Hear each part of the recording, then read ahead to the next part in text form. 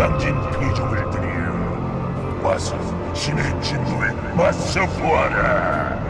나머지도 모두 처치해주마.